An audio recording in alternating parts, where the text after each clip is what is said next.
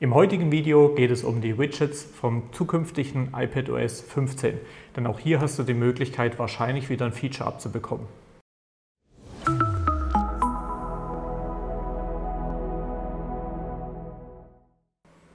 Hi und herzlich willkommen zu Wissen rund um die Apps mit Jamit Labs. Wie gerade schon angekündigt, haben wir äh, in diesem Video geht es um äh, die Widgets auf iPadOS 15.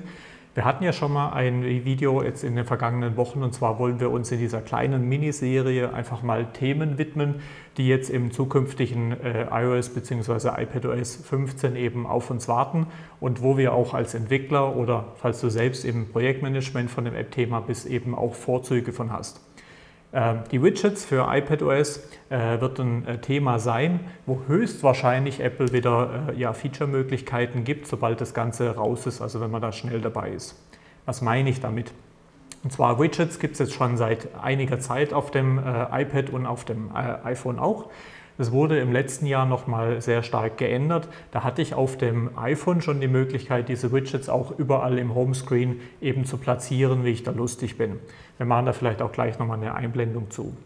Beim iPad war es so, dass hier in der Seitenleiste eigentlich immer diese Widgets quasi fest verhaftet waren. Ich konnte mir bisher eben aussuchen, ob diese Leiste mit drin eingeblendet ist oder ich sie einfach nur reinziehe.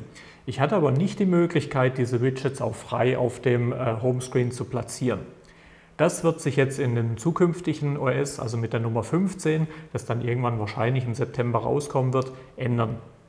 Und dafür gibt es eine neue Größe an Widgets, eine etwas größere Variante noch, weil die Varianten, die es bisher auf dem iPhone gibt, halt eben auf dem iPad vielleicht auch ein bisschen verloren wirken. Die kann ich auch weiter benutzen, aber es gibt eben nochmal eine zusätzliche Widget-Möglichkeit. Und jetzt ist es generell so, dass ähm, Apple sehr, sehr gerne gerade am Anfang zum Start von einem neuen Betriebssystem, äh, wenn äh, die, die Apps featured im Store, die sich schon um diese neuen Themen kümmern. Deswegen kann ich dir eigentlich nur raten, wenn bei deiner App, die du äh, selbst am entwickeln bist, ähm, ja, es eben sinnig ist, Widgets mit anzubieten, dann macht es total Sinn, sich jetzt hier in dieser Beta-Phase bis zum September darum zu kümmern, dass du direkt zum Start von dem neuen iPadOS 15 mit deinen Widgets von dem Store bist weil dann die Wahrscheinlichkeit einfach relativ groß ist, dass du vielleicht ein Feature im Store abbekommst.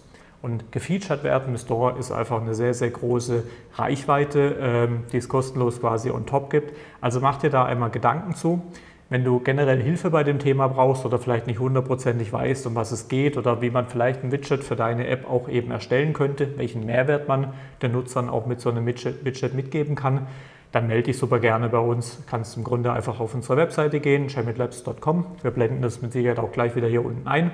Und äh, genau, dann kann ich dir das nur ins Herz legen. Von dem her, äh, ja, wenn du Lust hast auf weitere Tipps, wie gesagt, das wird so eine kleine Miniserie sein. Schau gerne vorbei, äh, abonniere am besten den Kanal und dann ähm, ja, geht es in den nächsten Videos weiter. Ich freue mich auf dich. Bis zum nächsten Mal. Ciao.